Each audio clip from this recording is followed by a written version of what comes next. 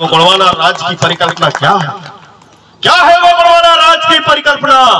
वो मेरे मुँह से, मैं तो बोलूँगा ही बोलूँगा, अगर आप लोग पढ़े लिखे हो गए।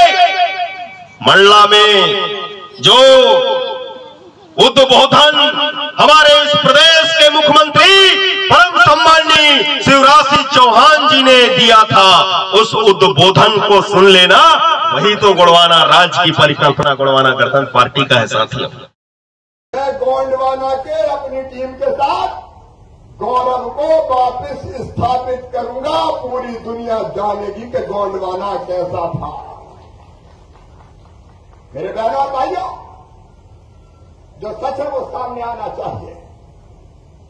गोंडवाना राजा संग्राम शाह ने सोने के सिक्के चलाए थे हिंदुस्तान में दो ही जगह एक दक्षिण में और एक राजा संग्राम शाह में। एक इस वैभव को स्थापित करेंगे और दूसरा शिवराज सिंह चौहान जी ने वहाँ पे कहा कि गुणवाना का राज एक ऐसा राज था जहाँ दूध की नदियाँ बहा करती थीं चोर और उचक्के नहीं हुआ करते थे। ताले नहीं लगा करते थे।